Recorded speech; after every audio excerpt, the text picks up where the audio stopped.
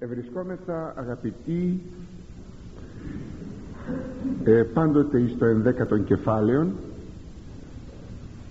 στον 32ο στίχο του βιβλίου της Σοφίας Σειρά από σπινθύρος πύρος πληθύνεται ανθρακιά και άνθρωπος αμαρτωλός εις αίμα ενεδρεύει. Και ο επόμενος στίχος ο 33ος πρόσεχε από κακούργου πονηρά γαρτεκτένη μήποτε μόμον εις τον αιώνα δώσει. Στην απόδοσή τους οι δύο αυτοί στίχοι όπως μιας σπίθα προκαλεί μεγάλη φωτιά έτσι και ένας κακός άνθρωπος προκαλεί μεγάλα κακά φτάνοντας μέχρι δολοφονίες. Πρόσεχε λοιπόν από τον κακόν άνθρωπο γιατί σχεδιάζει κακά. Μήπως σου προσάψει κατη, κατηγορία για όλη σου τη ζωή σε σένα και τους απογόνους σου εδώ αγαπητοί μου παρατηρούμε ότι η σοφία του Θεού μας καθιστά προσεκτικούς μπροστά στις κακές διαθέσεις των ανθρώπων. Ήδη η ενυπόστατος και ενανθρωπίσασα σοφία ο Ιησούς Χριστός μας είπε προσέχετε από τον ανθρώπων αυτό είναι πολύ χαρακτηριστικό αυτό το προσέχετε από τον ανθρώπων ακόμη είπε εις τους μαθητάς του Ιδού εγώ αποστέλω ημάς ως πρόβατα εν μέσω λύκων. Γίνεστε ουν φρόνιμοι ως ιόφης και ακέραιοι ως επεριστερέ δηλαδή εγώ σας αποστέλω και όχι μόνο βέβαια τους μαθητάς αλλά θα λέγαμε σε ένα ε, ευρύτερο φάσμα ο κάθε πιστός ζει μέσα σε μια κοινωνία ανθρώπων οι οποίοι ούτε λίγο ούτε πολύ οι άνθρωποι αυτοί μπορεί να χαρακτηριστούν μια κοινωνία λύκων. Εξαλλού το έλεγαν και οι Ρωμαίοι αυτό ε, ή μάλλον ναι οι Ρωμαίοι οι Ρωμαίοι συγγραφείς ε, ότι homo homini lupus δηλαδή ο άνθρωπος για τον άνθρωπο είναι ένας λύκος. Σκεφτείτε δηλαδή ε, οι ανθρώπινες κοινωνίες τι αισθήματα έχουν ποδοπατήσει και τι αισθήματα ε, κακοηθείας έχουν αναπτύξει μέσα τους ώστε να χαρακτηρίζονται ότι είναι μια κοινωνία από λύκους. Είναι φοβερό πράγμα ο άνθρωπος η εικόνα του Θεού. Και όμως αυτό είναι μια πραγματικότητα. Για να δει κανείς ότι όταν ο άνθρωπος απομακρυνθεί από το Θεό τι γίνεται. Έτσι λέγει λοιπόν ο Κύριος ότι εγώ εσάς τους μαθητάς μου σας αποστέλω σαν πρόβατα ανάμεσα σε λύκους. Ή θα έλεγαμε ε, αν θέλαμε να το διαφοροποιήσουμε όχι να το διαφοροποιήσουμε στην έκφραση μόνο εσάς τους χριστιανούς σας τοποθετώ μέσα σε μια κοινωνία λύκων. Πως μπορεί κανείς να σταθεί αν είναι πρόβατο μέσα σε λύκους; Και είναι πρόκληση σε αυτή η έκφραση διότι βέβαια το πρόβατο ε, αμέσως γίνεται στόχος του λύκου.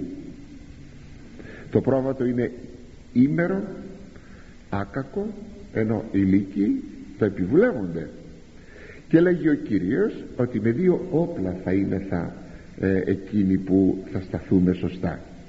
Πρώτα πρώτα πρέπει να έχουμε φρόνηση.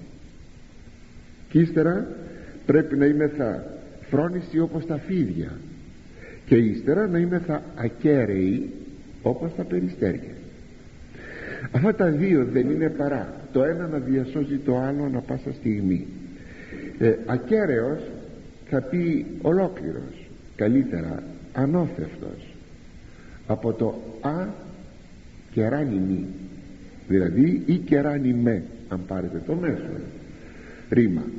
Ε, δηλαδή ε, όχι αναμειγμένος. Το κεράνι μη θα πει αναμειγνύο από εκεί παράγεται και η λέξη στο ουσιαστικό κρασί. Ε, από εκεί παράγεται που θα πει ε, το κρασί ο ίνος ο οποίος είναι ανακατεμένος με νερό. Αυτό θα πει κρασί. Κρασί δηλαδή ίνος με νερό. Συνεπώς ακεράνιμη το στερετικό α που θα πει όχι νοθευμένος. Και εδώ ο Κύριος επιμένει ότι σε οποιαδήποτε κοινωνία ζήσετε σε όποια εποχή πρέπει εσείς οι Απόστολοι μου, οι μαθητές μου, οι πιστοί μου να είσαστε ακέραιοι δηλαδή να είσαστε σωστοί. Δεν πρέπει να θυσιάσετε από την πνευματική σας ζωή απολύτως τίποτα. Και λέγει εδώ παίρνει δύο ζώα για τις παρομοιάσεις παρομοιώσεις. Ε, εδώ για την ακαιρεότητα χρησιμοποιεί τα περιστέρια. Τα περιστέρια ως προς την ε, οικογενειακή του ζωή είναι πραγματικά καταπληκτικά. Έτσι δεν θυσιάζουν μπροστά στην οικογενειακή τους ζωή τίποτε. Να είστε λοιπόν ακέραιοι σαν τα περιστέρια αλλά και φρόνιμοι σαν τους όφης. Φρόνιμος ο έχων φρόνηση. Ε, η φράση θα λέγαμε είναι παρμένη εικόνα από την Παλαιά Διαθήκη από το βιβλίο της Γενέσεως που λέει ότι ο όφης ή το ο φρονιμότατος πάντων των ζώων των θηρίων. Δηλαδή εδώ η γραφή θέλει να μας δείξει ότι ο όφης, το φίδι είχε, έχει φρόνηση. Γι' αυτό και το χρησιμοποίησε το ζώο αυτό ο διάβολος. Δεν έγινε ο διάβολος βέβαια φίδι αλλά χρησιμοποίησε ένα φίδι. Και φυσικά το φίδι δεν έχει νόηση αλλά εκ κατασκευής του έχει μία φρόνηση. Εξ δηλαδή. Δεν είναι εκ λογικής αναμφισβήτητα. Έτσι λοιπόν εδώ ο Κύριος μας είπε να έχουμε φρόνηση. Δηλαδή να έχουμε μυαλό να έχουμε σύνεση να έχουμε διάκριση να μπορούμε να διακρίνουμε την ψυχολογία του άλλου ανθρώπου. Όπως το φίδι βέβαια θα το λέγαμε γενικά πάνω κάτω κάθε ζώο ειδικότερα φαίνεται το φίδι ε, υπολογίζει και ζυγίζει τις διαθέσεις σου. Αν δηλαδή οι διαθέσεις σου είναι κακές απέναντί του ή όχι. Και φροντίζει να επιτεθεί ή να κρυφτεί. Και μάλιστα να κρύψει προπαντός την κεφαλή του διότι είναι γνωστό ότι αν κοπεί ένα κομμάτι από την ουρά του ε, το φίδι αυτό δεν ψοφά ενώ όταν όμως συντριβεί η κεφαλή τότε βεβαίως έχει τελειώσει την ύπαρξή του. Έτσι λοιπόν ο Κύριος μας είπε αγαπητοί μου να έχουμε φρόνηση και ακαιρεότητα. Έτσι πρέπει να σταθούμε μέσα στην ζωή. Φυσικά η φρόνηση δεν αναφέρεται στο αν θα κινηθούμε καλά στη ζωή μας φρόνημα δηλαδή με την έννοια να έχουμε κέρδη και απολαβές. Αυτό είναι άλλη παράγραφος αλλά η φρόνησης αναφέρεται στην πνευματική ζωή και το να περισσώσουμε την ακαιρεότητά μας την πνευματική. Ε, έτσι αγαπητοί μου πρέπει να προσέχουμε. Λέγει ο σοφός Σιράχ όπως διαβάσαμε στο χωρίο από σπινθύρος πυρός πληθύνεται ανθρακιά. Δηλαδή από μια σπίθα φωτιάς ε, ανάβει ολόκληρη ανθρακιά. Ή εκείνο που λέγει ο Άγιος Ιάκωβος ο αδερφόθεος και είναι ταυτόσιμο στην έκφραση ιδού ο λίγον πυρ ηλίκην ήλιν ανάπτη ήλι όπως γράφεται η γνωστή μας λέξη ήλι ε, λέγεται το δάσος. Εξού και υλοτόμος αυτός που κόβει το δάσος. Ήλι υλοτόμος συνεπώς λέγει να λίγη φωτιά και πόσο μεγάλο δάσος μπορεί να κάψει τι θέλει να πει εκεί τόσο ο σοφός όσο και ο Άγιος Ιάκωβος αδελφόθεος ότι το κακόν είναι αλυσίδωτον και καταλαμβάνει μεγίστην έκταση. Πως παίρνει να δάσος φωτιά και καίγεται καίγεται και απλώνεται. Έτσι το κακόν καταλαβαίνετε λοιπόν ότι μπροστά σε αυτό το αλυσιδωτόν κακό πως πρέπει να σταθεί ο πιστός άνθρωπος. Γι' αυτό υπάρχει και η προτροπή πρόσεχε πρόσεχε λέγει από κακούργου και λοιπά και λοιπά. Δεν βρίσκεις άκρια το κακό είναι απίθμενο και στην έκτασή του και στην ποιότητά του ο κακός άνθρωπος πάντοτε σκέπτεται και μηχανεύεται το κακό. Ε, κινούμενος βέβαια πάντοτε από τα πάθη του από το μίσος από τον φθόνον από την χερεκακία και από την μισοκαλία. Το διάβολο όπως θα ξέρετε λέμε μισόκαλον διότι είναι εκείνος ο οποίος μισεί το καλόν μισεί το ωραίο.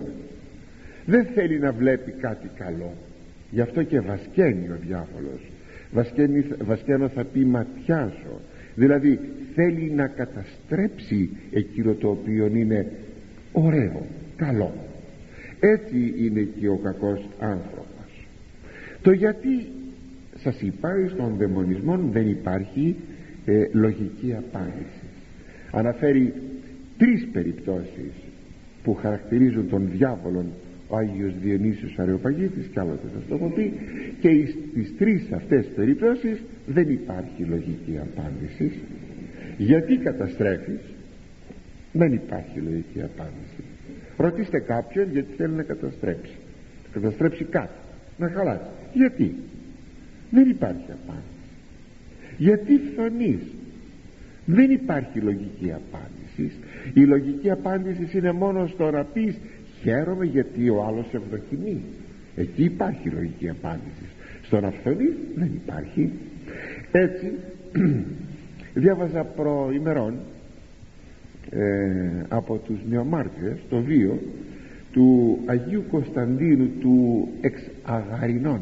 Αγαρινοί λέγονται οι Τούρκοι.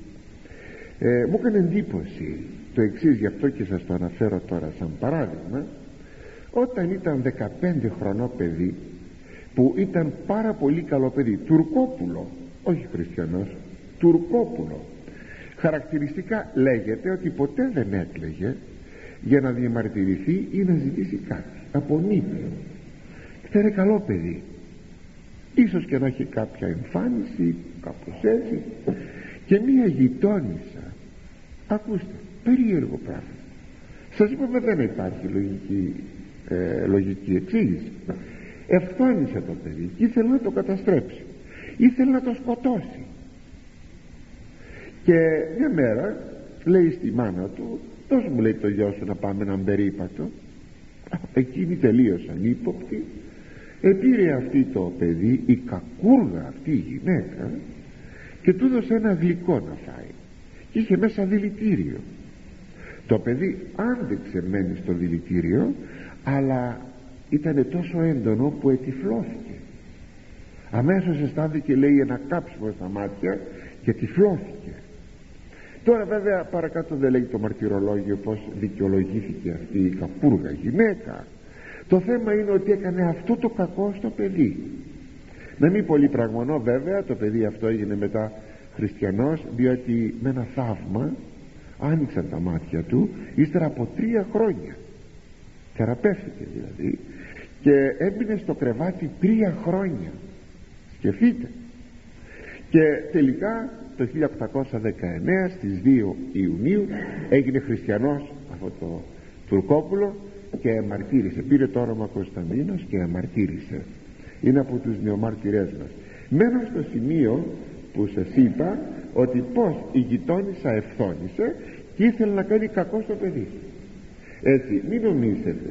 Πολλές φορές όταν σας ζητούν το παιδί σας να το, πάρε, να το πάρουν κάποιοι στο σπίτι τους και, και τα λοιπά μην νομίζετε ότι πάντοτε όλοι οι αγαθά σκέφτονται και βέβαια ίσως δεν θα δηλητηρίαζαν αλλά μπορούν να κάνουν όμως άλλου είδους κακά. Εκείνα που αν θέλετε και το ζητώ να τρέχει το μυαλό σας να φανταστείτε τι μπορεί να κάνει μια ξένη οικογένεια που θέλει το κακό μας στο παιδί μας ναι η αγόρι είναι είτε η κορίτσι είναι να κάνει κακό ηθικών κακών. Προσέξτε λοιπόν λέγαμε και μερικά άλλα πράγματα τέτοια συναφή την περασμένη φορά. Υπάρχουν λοιπόν βλέπετε κακοί άνθρωποι που είναι έτοιμοι να επιφέρουν το κακό πάντοτε βεβαίως ανετίως. Ε, αυτοί οι άνθρωποι είναι γνήσια όργανα του σατανά και οι άνθρωποι αυτοί είναι για να μην πω αμετανόητοι είναι σχεδόν αμετανόητοι. Φοβάμαι ότι όταν κανείς έχει μια κακία μια κακία δηλαδή κακόψυχος ό,τι λέει λέξεις κακόψυχος μόνο που καμιά φορά όταν λέμε κάποιον άνθρωπο κακόψυχο δεν είμαι θα σίγουροι των βαθμών της κακοψυχίας του. Ε, οι άνθρωποι αυτοί για να μην πω είναι αμετανόητοι ας το πω έτσι ότι είναι σχεδόν αμετανόητοι τρέφονται ε, όταν ε, με, την, ε, με τον φθόνον και χαίρουν με το φθόνο, με το μίσος με αυτό τρέφονται. Όπως και ο διάβολος με το κακό τρέφεται. Και κάνουν το κακό για το κακό. Όπως λέμε η τέχνη για την τέχνη που είναι ένα δόγμα θα λέγαμε. Στην αισθητική βέβαια δεν είναι σωστό δόγμα αυτό. Είναι ολέθριον αλλά για αυτή την περίπτωση είναι ένα δόγμα. Στην αισθητική έτσι και εδώ κάνω το κακό για το κακό. Αυτό είναι ακατανόητο. Ενώ είναι πολύ κατανοητό κάνω το καλό για το καλό. Γιατί αγαπώ γι' αυτό κάνω το καλό στην κατηγορία αυτή των ανθρώπων που κάνουν το κακό για το κακό ε, είναι και εκείνοι που κάνουν μάγια για να βλάψουν τον άλλον άνθρωπο. Βέβαια περιττώ να σας πω ότι στην εποχή μας η μαγεία έχει μεγάλη έξαρση. Ε, σε κάθε εποχή η μαγεία πάντοτε υπήρχε αλλά είναι κάποιες εποχές που όταν οι άνθρωποι φύγουν από μια σωστή θρησκευτικότητα τότε πέφτουν στα υποκατάστατα της θρησκευτικότητας που είναι η μαγεία. Και σήμερα απομακρυνόμενοι οι άνθρωποι από την θρησκευτικότητα από την πνευματικότητα αν θέλετε στην καθημάς κατάσταση είναι από τον χριστιανισμό από την εκκλησία μοιραία θα πέσουν στα υποκατάστατα θα λέγαμε της ε, πίστεως που είναι, που είναι η μαγεία. Ε, άκουσα αν δηλαδή τι να πω κάποιος άνθρωπος ασχολείται κάποιος συνθέτης ασχολείται με αρβανίτικα τραγούδια. Αρβανίτικα τραγούδια. Σήμερα το άκουσα. Και φυσικά στο χώρο της λαογραφίας αυτό. Και είπε ισχυρίστηκε ότι ε, μπορεί να προσδιορίσει ε, σε ποια εποχή ένα τραγούδι έχει την αφιτηρία του. Δηλαδή ε, τα μέτρα, τα μουσικά μέτρα και τα λοιπά που ανήκουν. Η δομή ε, του μέτρου, του, του ρυθμού και τα λοιπά που ανήκει. Του λέγει κάποιος που συνομιλεί του λέγει πως το καταλαβαίνεις αυτό; Ακούστε απάντηση και όποιος είναι στοιχειοδός με επιστημονικό πνεύμα θα φρίξει πρώτον με δύο τρόπους λέει. Πρώτον με μία διέστηση. Έχω λέει τον τρόπο να καταλάβω από μια διέστηση σε, ποιο, σε ποια εποχή ανήκει ένα τραγούδι.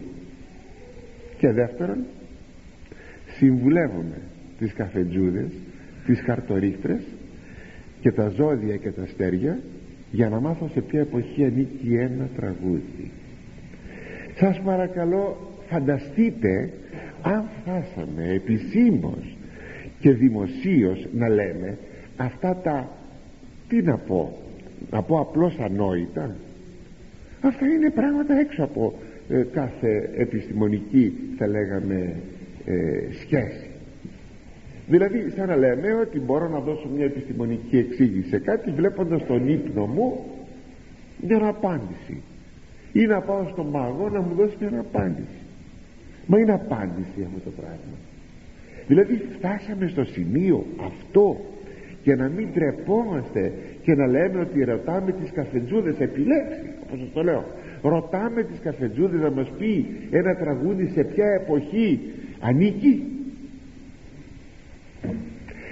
Ε, δείχνει δηλαδή η εποχή μας που βρίσκεται. Γι' αυτό ε, σας λέγω ότι η αλήθεια πραγματικά ε, υπάρχουν εκείνοι οι οποίοι κάνουν τα μάγια. Τι κάνουν μάγια να αφισβείτε κακοί άνθρωποι. Και εκείνοι οι οποίοι είναι τα θύματα των κακών αυτών ανθρώπων. Δεν θα ήθελα βέβαια να σας βάλω τώρα σε μία υπόνοια ότι αν κάτι βρέθηκε στο σπίτι σας ότι κάποιοι σας έκαναν μάγια και ότι πρέπει να αρχίσετε τώρα να αισθάνεστε άσχημα όχι δεν θέλω αυτό το πράγμα διότι ο Κύριος μας είπε ότι μας έδωσε την εξουσία και την εξουσία τη δίνει σε κάθε βαπτισμένο σε κάθε βαπτισμένον εις το όνομα της Αγίας Τριάδος πατήν επάνω όφεων και σκορπίων και επιπάσαν την δύναμη του εχθρού. Και αυτή η δύναμη του εχθρού ο εχθρός είναι ο διάβολος. Αυτή η δύναμη του εχθρού είναι ακριβώς η μαγεία ο πνευματισμός και τα συναφή. Γι' αυτό δεν μπορεί κανείς πραγματικά να ασκήσει ένας κακός άνθρωπος το κακό με τον τρόπο αυτόν με την ενέργεια του σατανά αν έχει απέναντί του έναν άνθρωπο ο οποίος είναι ψευδής και τον προστατεύει ο Θεός. Είναι γνωστό.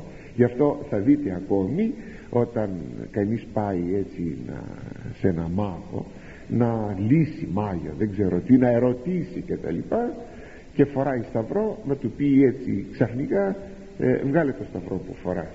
Γιατί, γιατί ενοχλείται ο μάγος όταν βλέπει το σταυρό και δεν μπορεί να απαντήσει και δεν μπορεί να ενεργήσει η σατανική ενέργεια. Μη φοβόσαστε. Δεν πρέπει να φοβόμαστε. Απλώς σημειώνουμε ότι υπάρχουν οι κακοί άνθρωποι. Είδατε και αντιληφθήκατε κάτι υποθέσατε κάτι πετάξατε το μακριά κάντε το σταυρό σας την προσευχή σας κάνετε αγιασμό και μη φοβόσαστε από αυτούς τους κακοήθης όντως ανθρώπους. Αλλά υπάρχουν κακοήθης άνθρωποι. Υπάρχουν. Υπάρχουν. Θυμούμαι κάποτε μία γυναίκα μακαρίτησα τώρα μου είχε πει ότι αγαπούσε κάποιον. Αυτός ο κάποιος δεν την ήθελε. Δικαιωμά του δεν είναι το. Αυτή όμως επέμενε να τον θέλει. Αυτός επέμενε για όχι και παντρεύτηκε μια άλλη κοπέλα. Αυτή του έκανε μάγια. Και λίγες μέρες μετά το γάμο του ο άνθρωπος αυτός πέθανε. Αυτή βέβαια είχε τύψει στη συνείδησή της για αυτό που έκανε αλλά είχε τύψεις εδώ προσέξτε κάτι. Ε, δεν της πήγαινε καλά γιατί πέθανε αυτός ο άνθρωπος αλλά αφού αυτή ενήρυξε για να πεθάνει έκανε μάγια για να πεθάνει. Προσέξτε αυτό το πράγμα ε, για να πεθάνει. Αλλά όμως ποτέ δεν μετενόησε η γυναίκα αυτή για να αλλάξει ζωή. Δεν τα κατάφερε. Είχε απλώς κάποιες τύψεις για αυτό που έκανε αλλά δεν μετενόησε ποτέ ως προς ολόκληρη τη ζωή της. Η γυναίκα αυτή έφυγε αμετανόητη. Είναι πολύ χαρακτηριστικό είναι εκείνο που σας έχω πει ότι οι άνθρωποι που φτάσαν να κάνουν κακό με κάποιο τρόπο που να έχουν μία κακότητα μες στην ψυχή τους δεν φτάνουν μέχρι το εξομολογητήριο. Ακούσατε το. Διότι διαστρέφεται η ψυχή τους. Αν το θέλετε δεν τους αφήνει αυτός ο διάβολος να μετανοήσουν. Το κακό μπορεί να είναι ποικίλο ο σοφός Ιράκ μας λέγει στα χωρία που σας διάβασα τα δύο μήποτε λέγει μόμον εις τον αιώνα δώσει. Πρόσεξε τον κακόν άνθρωπο μήπως σου προσάψει σου κολλήσει μια ρετσινιά μια συκοφαντία που να μην περάσει ποτέ. Και όχι μόνο ε, να μην περάσει όσο ζεις εσύ αλλά ακόμη αυτή η ρετσινιά δηλαδή μια συκοφαντία ένας, ένας κακός χαρακτηρισμός. Ε, να περάσει ακόμη και εις τους απογόνους σου. Να χαρακτηρίζουν οι άνθρωποι ακόμη και τα παιδιά σου. Αν ερωτήσετε κατά πόσο ένας άνθρωπος μπορεί να φυλακτεί από την κακοήθεια κάποιου τέτοιου ανθρώπου όταν υπάρχει τόση πονηρία εις τους ανθρώπους ε, θα λέγαμε ότι καταρχάς πρέπει να προσέχει. Είναι εκείνο το οποίο μας λέγει η σοφία του Θεού. Πρόσεχε άνθρωπε μην έχεις ανοίγματα με τέτοιους ανθρώπους. Μην ανοιχτείς και μετά θες να κλείσεις τη σχέση σου γιατί ο άνθρωπος αυτός θα σου κάνει κακό. Φρόντισε από την αρχή να διακρίνεις να δεις και να προσέξεις. Ώστε να μην ξεκινήσεις σχέσεις και μετά τι γίνεται. Ενθυμούμε στην Αττική μία γυναίκα κάτι παράξενα πράγματα μία γυναίκα πήγε σε κάποιον άνθρωπο μακαρίτης τώρα αυτός του επήγε κάποιο δώρο στη γιορτή του. Βέβαια αυτός επειδή το πολύ περίεργη γυναίκα πολύ περίεργη κακή, φοβερή ε, δεν ήθελε να έχει σχέσεις μαζί της και της λέει κοίταξε σε παρακαλώ δεν το θέλω το δώρο σου άντε πήγαινε αυτή προσευλήθη για χρόνια ολόκληρα. Έστειλε καρτέρι. Μόλι ήταν το σπίτι της απέναντι από το σπίτι αυτού του ανθρώπου. Όταν έβλεπε κάποιος άνθρωπος να χτυπάει την, το κουδούνι της τσόπορτας του, του κήπου την πόρτα αυτή πετιόνταν από το σπίτι της και άρχισε μπροστά στους επισκέπτες να βρίζει αυτόν τον άνθρωπο τι στην αστυνομία πήγε πού δεν πήγε αυτός ο άνθρωπος δεν μπορούσε να απαλλαγεί από την γυναίκα αυτή. Ακούτε είναι φοβερό πράγμα φοβερό. Θα έλεγε κανείς εδώ ένα λάθος έδωσε το δώρο πίσω. Να λέγε ευχαριστώ πάρα πολύ καλώς ήρθες τίποτα άλλο και να αφήσει το πράγμα να περάσει και αν μπορούσε να φανταστεί ότι εκείνο το δώρο είχε κάτι μέσα κακό καμιά φορά δεν ξέρω ο Θεός να φυλάξει. Πέταξέ το εκείνο που σου έφερε αυτός ο κακός άνθρωπος. Γιατί μπορεί να το έχει μελετημένο να το έχει διαβασμένο όπως λέγεται. Πέταξέ το. Τίποτε άλλο. Και να λες μια καλημέρα και να διατηρείς μια απόσταση. Διότι έτσι και κάπου χάλασες τη σχέση σου δεν θα ησυχάσεις ποτέ Ιδίως οι άνθρωποι που μένουν σε πολυκατοικίες μέσα να σου τύχει τέτοιος άνθρωπος και μάλιστα στο ίδιο πάτωμα; Πω πω φρίκι. Προσοχή λοιπόν από τέτοιους ανθρώπους. Ε, συνεχίζω όμως να σας πω ότι ε, αφού μας διδάσκει η σοφία του Θεού ότι πρέπει να προσέχουμε αλλά μου πείτε πόσο μπορούμε να προσέχουμε; Ε, το υπόλοιπο αγαπητοί μου θα το φροντίσει ο Θεός. Εμείς μόνο οφείλουμε να προσέχουμε.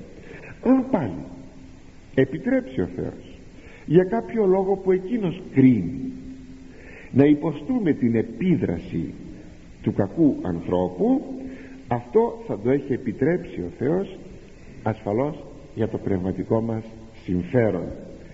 Αρκεί εμείς να μην καταφύγουμε σε καμία αντεκδίκηση ούτε βεβαίως στα μάγια αν υποτεθεί ότι κάποιος μας έκανε μάγια και τον υποπτευόμαστε να τα καταφύγουμε στα μάγια δήθεν για να τα λύσουμε. Αυτές δεν είναι λύσεις που τις θέλει ο Θεός.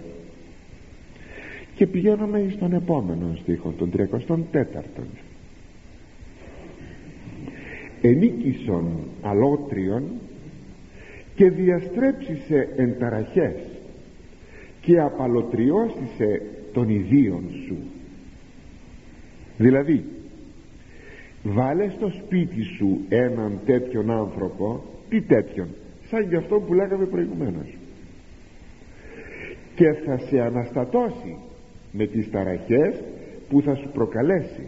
Και ακόμη ψυχολογικά θα σε αποξενώσει από τους οικείους, του, οικείους σου.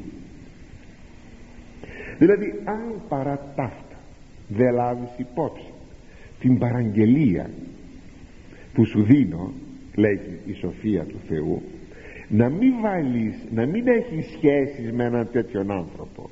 Εσύ όμως εισήγαγες έναν τέτοιον κακόν άνθρωπο στο σπίτι σου τότε τότε θα δεις και θα δεχθείς θα απολαύσεις θα λέγαμε των καρπών της απρονοησίας σου να δεχθείς έναν τέτοιον άνθρωπο είτε ως ένικον είτε ως φιλοξενούμενον θα έλεγε κάποιος τότε μήπως αυτό του να μην δεχθώ έναν τέτοιον άνθρωπο αντίκειται εις την αρετή της φιλοξενίας θα μπορούσε κάποιος να το σκεφτεί βέβαια η σοφία του Θεού δεν θέλει να πει ότι πρέπει να καταστρατηγήσω με την αρετή της, ε, της ε, φιλοξενίας αλλά απλώς θέλει να τονίσει ότι πρέπει να υπάρχει διάκριση. Και ότι το καλό είναι καλό όταν καλός γίνεται. Και η αρετή είναι αρετή όταν δεν προσκρούει στην διάκριση. Τότε βεβαίως όλα είναι καλά. Γι' αυτό θα δούμε στον επόμενο στίχο είναι στο 12ο κεφάλαιο. Ε, ναι θα το πούμε σήμερα. Πρώτα Θεός. Λέγει εάν ευποιείς γνώθη τίνη ποιείς. Εάν κάνεις το καλό ε, τότε να προσέχεις να γνωρίζεις σε ποιον το κάνεις το καλό άρα βλέπει κανείς με σαφήνεια ότι εδώ δεν έρχεται να μας πει ε, μην ε, φιλοξενήσει ένα τέτοιον άνθρωπο ή ό,τι άλλο αλλά ή στρέφαμε κατά της φιλοξενίας όχι. Αλλά απλώς το βάρος σας είπα πέφτει στην διάκριση. Εάν πρέπει εάν θα βγει κάτι καλό εάν θα βγει κάτι κακό ένας πονηρός άνθρωπος όταν μπει μέσα στο σπίτι μας μπορεί να προκαλέσει φοβερή έκταση κακού. Σας θυμίζω τον προηγούμενο στίχο τον προπροηγούμενο μιας σπίθα λέει ανάβει έκταση φωτιάς. Έτσι και εδώ αν μπει αυτός ο άνθρωπος ο κακοήθης που, που είναι ακατάστατος είναι πολλά πράγματα είναι μπορεί να προκαλέσει διαπληκτισμούς πρώτα πρώτα ανάμεσα στους συζύγους. Ακόμα και ζηλοτυπίες αν ο ένας εκ των δύο συζύγων για μια στιγμή δείξει για κάποιο λόγο μια προσκόλληση. Μπορεί αυτός να είναι όμορφος άνθρωπος να είναι άνδρας ή γυναίκα ε.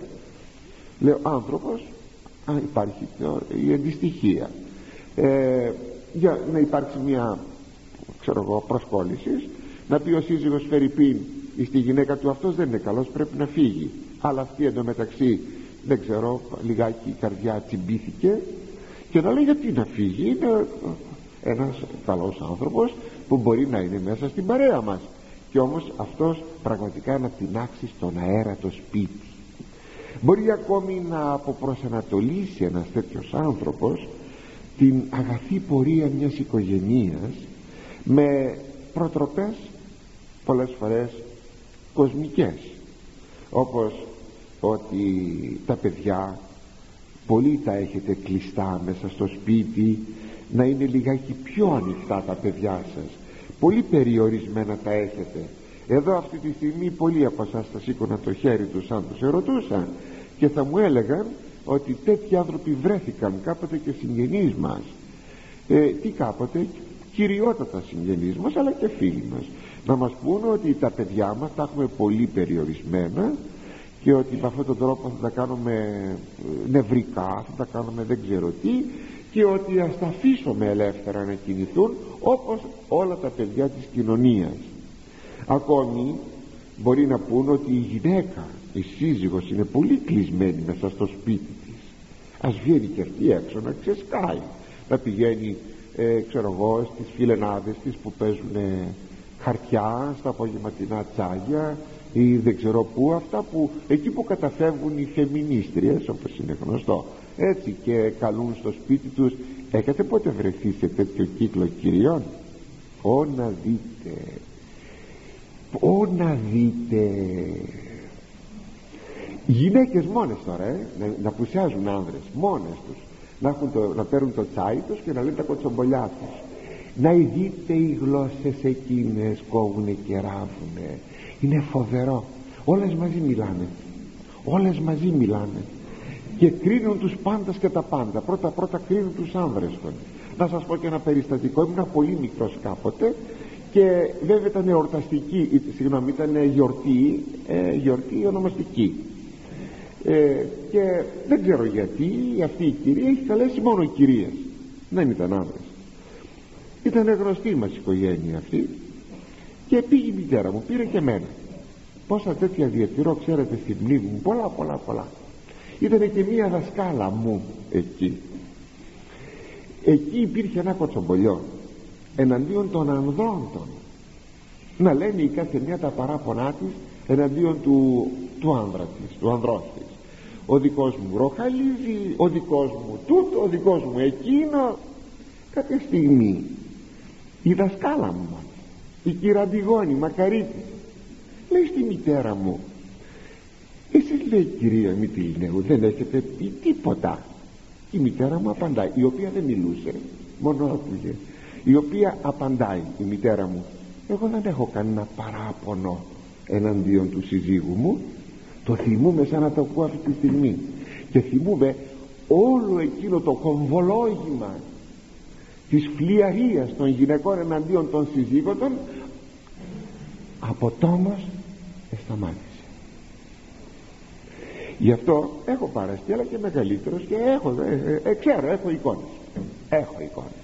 Είναι φοβερή αυτή η κύκλη των κυριών που παίζουν χαρτιά και κοτσομπολεύουν και κάποτε μάλιστα κάποτε κάποτε έναν καιρό μια φορά και έναν καιρό δεν ξέρω αν ακόμα αυτό το πράγμα συνεχίζει. Δεν ξέρω είναι πάντως πολλά χρόνια αυτό. Είναι τουλάχιστον 40 χρόνια περισσότερο 50 χρόνια.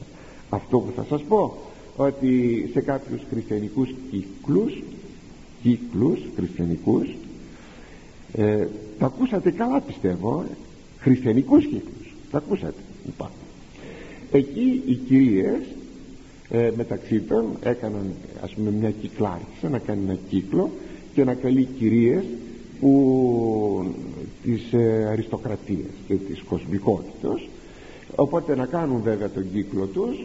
Τώρα τι λέγανε στον κύκλο αυτόν δεν μπορώ να φανταστώ. Και κατόπιν να έχουν το τσάι τους να έχουν το κοτσομπολιό τους να έχουν όλα εκείνα που είχαν οι κυρίες το χατάκι τους και δεν λοιπά ε, στην ερώτηση γιατί έτσι δεν θέλω να ονοματίσω αυτούς τους κύκλους. Έχουν και το όνομά τους βέβαια. Ε, η απάντηση ήταν ότι ε, αυτές είναι κοσμικές κυρίες δεν μπορούμε αμέσως να τις πάρουμε κοντά στον Χριστόν πρέπει σιγά σιγά. Και έτσι λοιπόν οι κύκλοι αυτοί είχαν αυτό τον χαρακτήρα. Το φαντάζεστε; Το φαντάζεστε; Δηλαδή από πνευματικής πλευράς τελείως απαράδεκτα πράγματα. Τελείως λοιπόν προς Θεού όταν θέλουμε να καλέσουμε κάποιους ανθρώπους θα τους καλέσουμε να μετανοήσουν. Και μετάνοια θα πει μια απότομη κατάσταση. Όχι εκείνο το σιγά σιγά να μην τους κόψουμε το χαρτάκι και το καφεδάκι και το φλιτζάνι το γυρίζουμε ανάποδα ή ό,τι άλλο. Όχι. Μετενόησες θες να ακούσεις λόγο Θεού. Θα τον ακούσεις με, με όλες τις συνέπειές του τελείωσε. Δεν μπορείς να ανακατεύεις αυτά τα πράγματα διότι ένα τέτοιο πρόσωπο ή τέτοια πρόσωπα ποτέ δεν θα φτάσουν στο επίπεδο της μετανοίας. Παρακαλώ προσέξατε τα. Οι κυρίες μη παρασυρθείτε εις τα τσάγια και εις τα απογευματινά των κυριών ιδίως οι νεαρές κυρίες αυτές που είναι νιόπαντρες και τα λοιπά. Παρακαλώ ιδιαιτέρως να προσέξουν γιατί υπάρχει πάρα πολύ σοβαρός κίνδυνος. Έτσι όταν πούν για μια γυναίκα ότι είναι πολύ κλειστή στο σπίτι της ε, θα το πει κάποιος που μπαίνει στο σπίτι ε, το άνοιγμα μιας γυναίκας δεν είναι παρά αυτό. Αυτό για το οποίο το σύνορα μιλάμε. Ακόμη μπορεί να χαρακτηρίσουν και τον άνδρα τον σύζυγο ότι είναι πολύ κλειστός ότι είναι σπιτικός να το πω σπιτόγατος έτσι τον λένε. Ναι και ότι δεν έχει ανοιχτές κοινωνικές σχέσεις ότι δεν πάει από εδώ δεν πάει από εκεί δεν πάει να παίξει λίγο χαρτιά δεν πάει να διασκεδάσει σε κέντρα δεν και τα λοιπά. Προσοχή βλέπετε άμα μπει ένας τέτοιος άνθρωπος μέσα στο σπίτι μας είτε το καταλαβαίνει είτε δεν το καταλαβαίνει τι ανατροπή μπορεί να δημιουργήσει με αυτές τις συμβουλές που μπορεί να δώσει μέσα στο σπιτικό μας αλλά όταν όμως συμβούν αυτές οι καταστάσεις αντιλαμβάνεστε ότι γρήγορα γίνεται μία αποξένωση των μελών της οικογένειας. Αν Φερρυπίν ξεμυαλιστεί η γυναίκα ουσιαστικά αποξενώθηκε από τον άνδρα της. Αν ξεμυαλιστεί ο σύζυγος ουσιαστικά αποξενώθηκε με τη γυναίκα του. Γιατί πια ο καθένας κάτι διαφορετικό πιστεύει έχει πάρει έναν άλλον προσανατολισμό το ίδιο πράγμα και με τα παιδιά μας. Έτσι νομίζω ότι πρέπει νομίζω το βλέπουμε καθαρά από το Λόγο του Θεού όταν έρχεται ένας άνθρωπος σπίτι μας κάποτε μπορεί να μας τον έφερε κάποιος γνωστός μας. Και έτσι να δημιουργηθεί μια καινούργια σχέση. Μην είναι θα εύκολη και γρήγορη καλά μπορεί να ήρθε μια φορά δεν τρέχουμε να καλέσουμε ρωτούμε, μαθαίνουμε. Και ύστερα ακόμη θα πρέπει οι σύζυγοι να είναι κάπως σύμφωνοι. Δηλαδή να μην υπάρχει σχίσμα ανάμεσα στους συζύγους για ένα πρόσωπο το οποίο θα έρχεται στο σπίτι τους. Αν υπάρχει και η πιο μικρή υποψία ότι μπορεί να τους χαλάσει το σπιτικό τους ο άνθρωπος αυτός δεν πρέπει να γίνει ο άνθρωπος του σπιτιού των έτσι αντιλαμβάνεστε εκείνο που πριτανεύει σε όλα εκείνα τα οποία είπαμε είναι η διάκρισης. Αυτή η βασιλική αρετή η διάκρισης. Και τώρα ερχόμεθα αγαπητοί μου αφού τελείωσε το ενδέκατο κεφάλαιο του βιβλίου της Σοφίας Σειράχ ερχόμεθα εις το δωδέκατο κεφάλαιο. Σε αυτό το δωδέκατο κεφάλαιο περιέχονται 18 χωρία τα 8 πρώτα ε, αναφέρονται στην ανάγκη το να ασκεί κανείς την ευποιία δηλαδή την ελεημοσύνη ή ό,τι άλλο με τα διακρίσεως. Και τα άλλα δέκα χωρία εφιστούν την συμπεριφορά μας απέναντι στον εχθρό μας. Γιατί είναι ύπουλος έστω και αν έρχεται με ένα σχήμα ταπεινώσεως. Θα τα δούμε αυτά όταν θα φτάσουμε εκεί πρώτα και εδώ λέγει τώρα ο Ιερός Συγγραφεύς αν δεν μ' ακούσεις λέει ο σοφός Σιράχ επεσχάτων επιγνώσει τους λόγους μου και επί των ρημάτων μου κατανοηγήσει τότε θα θυμηθείς τα λόγια μου και τότε θα αρχίσεις να κλαις και να χτυπιέσαι συνεπώς αντιλαμβάνεστε ότι και το κεφάλαιο αυτό έχει χρησιμότατες παρενέσεις και συμβουλές. Και προχωρούμε στον πρώτο στίχο. Εάν ευποιείς γνώθη τι ποιείς και έστε χάρις της αγαθής σου εάν κάνεις το καλό κάνεις ευεργεσίες να γνωρίζεις καλά σε ποιον τις κάνεις. Και έτσι θα υπάρχει ευλογία στα αγαθά σου. Για να δούμε εδώ. Εδώ σαφώς γίνεται λόγος περί ευποιίας. Ευποιώ κάνω δηλαδή κάτι το καλό.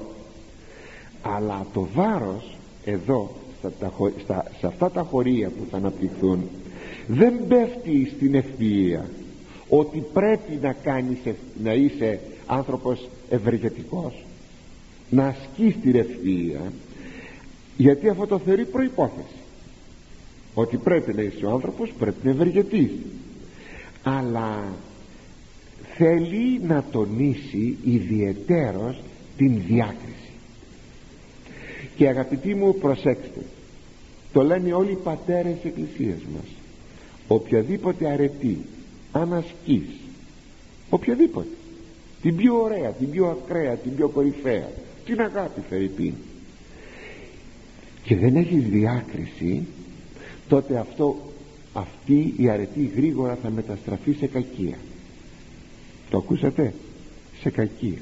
Αν λες ότι αγαπώ αγαπώ όλους τους ανθρώπους. Ναι αλλά πρόσεξε δεν σημαίνει αγαπώ ότι όποιον βρω στο δρόμο ε, κάνω παρέα μαζί του.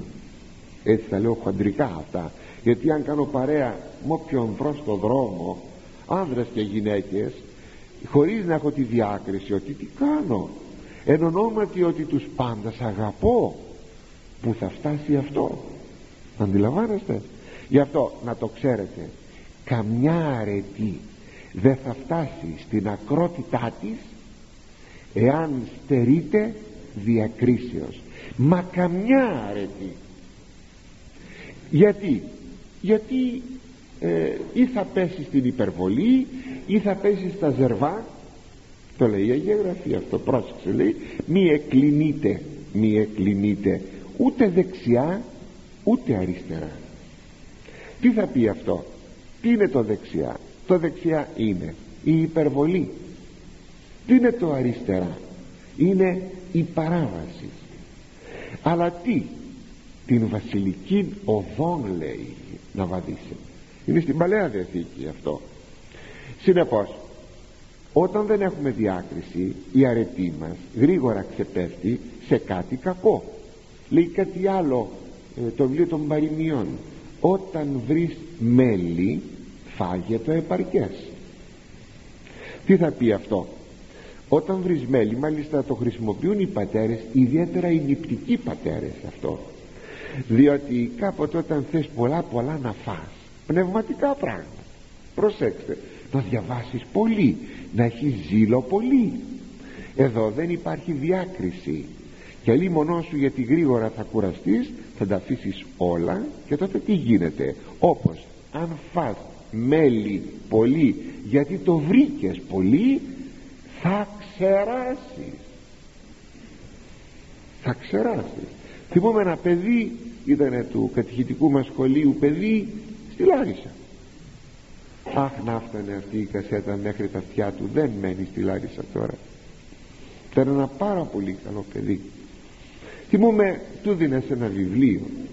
Φέρει πίντη φιλοκαλία ή άλλα βιβλία νηπτικά ωραία βιβλία. Παρότι ήταν ε, παιδί λέει παιδί με άλλα λόγια από 17 χρονών 18 χρονών πρώτη τελευταία τελευταία τάξη του γυμνασίου λυκείου. Και ύστερα από δύο-τρεις μέρες σου το έφερνε πίσω το βιβλίο. Και ζητούσε άλλο. Το διάβασες; Το διάβασα ε, του δίνες ένα δεύτερο το τελείωνε γρήγορα. Α κοίταξε να δεις όταν κανείς έτσι διαβάζει δεν χωνεύει. Δεν μπορεί να αφομοιώσει με αυτή την ταχύτητα εκείνα που διαβάζει. Θα σου κάνει κακό του έλεγα. Δεν θα σου κάνει καλό. Όχι μου λέει ξέρω εγώ επέμενε πολύ. Ή έβρισκα παλού βιβλία και διάβαζε. Αγαπητοί μου το παιδί αυτό όπως σας είπα έφαγε πολύ μέλι και ξέρασε. Τα εκλώτσισε. Το ίδιο πράγμα είναι και στην προσευχή. Κάποιος μετανοεί και αρχίζει να κάνει μετά ξέρω εγώ δέκα ώρες προσευχή. Ότι πρέπει παντού πάντα να κάνουμε προσευχή και να έχουμε στο νου μας το Θεό δεν τίθεται θέμα. Αλλά πρόσεξε γιατί θα κουραστείς και μετά τι γίνεται. Και έχω προσέξει κατόπιν φτάνει η προσευχή σε ένα πεντάλεπτο και μετά καθόλου προσευχή ξέρετε πόσοι που νομίζουμε ότι είναι πνευματικοί άνθρωποι δεν κάνουν καθόλου προσευχή. Γιατί; Γιατί μπούχτισαν. Ακούτε; Μπούχτισαν. Δεν, δεν μπορούν πια να κάνουν προσευχή. Ξεκίνησαν κάνοντας πολύ πολύ πολύ προσευχή άμετρα χωρίς διάκριση. Σας το λέγω για να ξέρετε ότι και τα πιο καλά πράγματα αν δεν έχουν διάκριση χαθήκαμε κάνετε μια πνευματική συντροφιά. Μια κυρία στο πούμε πηγαίνει στην πνευματική της φίλη και αδελφή που είναι στη γειτονιά δίπλα της. Πηγαίνει εκεί και κάθεται ωφελίας χάριν. Ναι αλλά θα σε βαρεθεί αυτή γιατί έχει και μαγείρεμα να κάνει έχει και άλλες δουλειές. Και μετά αν πηγαίνεις κάθε μέρα τι θα γίνει; Κάποια στιγμή θα αρχίσει να δυσανασχετεί ε, βέβαια θα κρύπτει τη δυσανασχέτησή της. Κάποια στιγμή δεν θα μπορεί πια να την κρύψει την αγανάκτησή της. Κάτι θα βρει θα σου πει μια κουβέντα εσύ θα πειραστείς και θα γίνονται από δυο χωριά και θα φτάσετε εσείς οι πνευματικές αδελφές να μιλάτε καλημέρα. Τι χρειάζεται εδώ; Ναι είστε πνευματικές αδελφές. Δεν σημαίνει ότι ανα πάσα στιγμή θα πετιέμαι μέχρι το σπίτι της γειτόνισσας και αδελφής μου πνευματικής. Όχι. Γιατί μετά τι θα γίνει θα μαλώσουμε. Δηλαδή είπα κανένα δυο παραδείγματα πιστεύω τα καταλαβαίνετε. Για να δείτε πόση μεγάλη αξία έχει έχει διάκριση. Αν σε καλέσουν πέντε φορές λέγει ο Άγιος Ισάκος Σύρος εσύ να πας μόνον δύο όχι αν σε καλέσουν πέντε να πας δέκα. Γιατί αν πας δέκα ου, γρήγορα θα μαλώσετε. Αν πας πάλι πέντε θα σε βαρεθούν.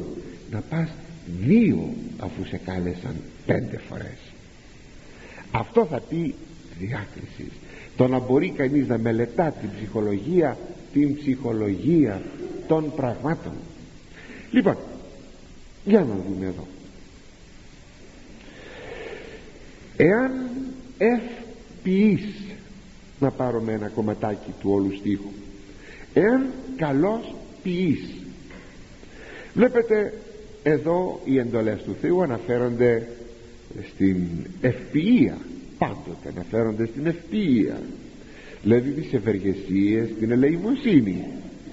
Άνθρωπος που δεν κάνει το αγαθόν δεν, κάνει, δεν είναι αγαθό εργός δεν είναι ελεήμων δεν είναι ο άνθρωπος ο χρήσιμος που να δώσει τις, να προσφερθεί ε, να δώσει τις καλές του υπηρεσίες και τα λοιπά. Έχουμε έναν φύλαυτον άνθρωπο ε, και αντικοινωνικόν που στρέφεται μόνο στον εαυτό του. Γι' αυτό λέγει η Αγία Γραφή η Καινή Διαθήκη της κοινωνίας μη επιλανθάνεστε το να έχετε δηλαδή κοινωνία με τους άλλους ανθρώπους αγαθήν δηλαδή να τους προσφέρετε το αγαθόν είτε υλικών είναι είτε πνευματικών. Μη το ξεχνάτε μη επιλανθάνεστε. Ως καιρόν έχουμε λέγει στους Γαλάτας ο Απόστολος Παύλος εργαζόμεθα το ζώμε ωμέγα υποτακτική ας εργαζόμεθα το αγαθόν προς πάντας. Μάλιστα δε προς τους οικείους της πίστεως προσέξτε εδώ μια διαφοροποίηση. Επειδή είπα το χωρίον αυτό δεν ξέρω αν θα το ξαναπώ παρακάτω εκείνο το να εργαζόμεθα όσο καιρό έχουμε και ο καιρός αυτός είναι ο καιρός της ζωής μας. Και αν θέλετε και ένα κομμάτι από τη ζωή μας γιατί δεν μπορούμε πάντοτε όταν πέσουμε σε ένα κρεβάτι πια και δεν μπορούμε να σηκωθούμε όταν έχουμε κάποια αρρώστια όταν έχουμε περάσει ένα εγκεφαλικό και δεν μπορούμε πολλά πράγματα να σκεφτούμε ή ό,τι άλλο. Δεν μπορούμε πια να κάνουμε το αγαθόν. Δεν ξεχνάτε. Και από αυτή ακόμα τη ζωή μας όλος ο χρόνος δεν προσφέρεται για το αγαθό. Πρέπει. Αλλά αν κάποτε δεν μπορούμε τότε τι γίνεται. Γι' αυτό λοιπόν όσο καιρόν έχουμε όσο καιρόν έχουμε ας εργαζόμεθα το αγαθόν. Εδώ λέγει προς πάντας ίσως μου πείτε ότι αυτό είναι σε αντίφαση με ό,τι είχαμε πει ε, προηγουμένως.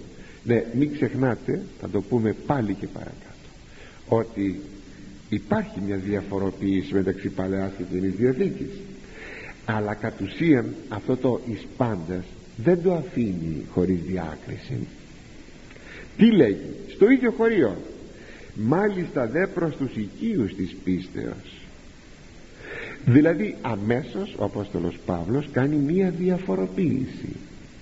Μπορεί προς όλους αλλά εκείνο το μάλιστα ιδιαίτερος δηλαδή αυτό θα πει μάλιστα προς εκείνους οι οποίοι είναι οικοί της πίστεως είναι ευσεβείς είναι χριστιανοί είναι ε, ομόφρονες ομοκάρδιοι.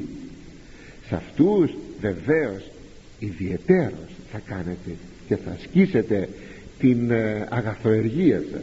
Βλέπετε λοιπόν και εδώ διάκριση. Θα το κάνουμε πολύ αναλυτικό λίγο πιο κάτω και στα παρακάτω χωρία. Ένας μάλιστα από τους καρπούς του Αγίου Πνεύματος είναι η Χριστότης. Το χρημεΐτα που θα πει ε, το να είναι ευεργετικός και χρήσιμος εις τους άλλους ανθρώπους. Δεν φαντάζεστε πόσο ωραία αρετή είναι η Χριστότης. Είναι δώρον του Αγίου Πνεύματος είναι από τους καρπούς του Αγίου Πνεύματος. Το να είναι κανείς χρήσιμος άνθρωπος όπου να πάει να είναι ο χρήσιμος άνθρωπος. Να μην σταυρώνει τα χέρια του να είναι ευεργετικός ανα πάσα στιγμή. Επιτρέψατε μου μια που τα θέματά μας είναι τόσο πρακτικά να μπαίνω και στα νοικοκυριά σας λίγο. Πηγαίνετε σε ένα συγγενικό ή φιλικό σπίτι. Μπορείτε να πείτε ύστερα από ένα τραπέζι που σας έκαναν μπορείτε να πείτε στην νοικοκυρά αλλά θα πάρετε την αδειά της γιατί μπορεί να μην θέλει να μπείτε μέσα στην κουζίνα της και να αισθανθεί πάρα πολύ άσχημα εάν μπείτε μέσα στην κουζίνα της για κάποιο λόγο που έχει εκείνη. Μπορώ να σας βοηθήσω. Να σηκώσουμε το τραπέζι να σηκώσουμε τα πιάτα να πλύνουμε τα πιάτα. Μην είσαι η κυρία που κάθεσαι στον καναπέ αλλά αφού η οικοδέσποινα προσέφερε ένα τραπέζι δείξε την διάθεσή σου ε, την προσφορά σου να βοηθήσεις. Γενικά αγαπητοί μου το να είσαι ευεργετικός άνθρωπος να είσαι ο χρήσιμος άνθρωπος με τη συμβουλή σου με την, με την ε, μετοχή σου κάπου να είσαι ο χρήσιμος άνθρωπος όχι ο άχρηστος άνθρωπος. Και είναι πολύ ωραία αρετή όποιος την έχει μακάριος διότι είναι πάρα πολύ αγαπητός και στο Θεό και στους ανθρώπους ο άνθρωπος ο Χριστός. Το χρήμα ήταν δηλαδή ο χρήσιμος. Ε,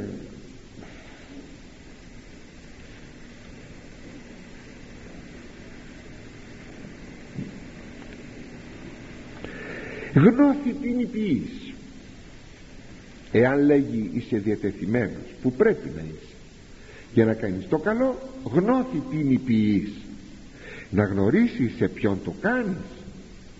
Εδώ βλέπετε έχουμε μία πρώτη μια πρώτη προσέγγιση που αντιδιαστέλλεται όπως σας είπα λίγα λίγη ώρα πιο μπροστά ένα λεπτό πιο μπροστά ε, στο πνεύμα, το πνεύμα της Παλαιάς Διαθήκης το πνεύμα της Καινής Διαθήκης.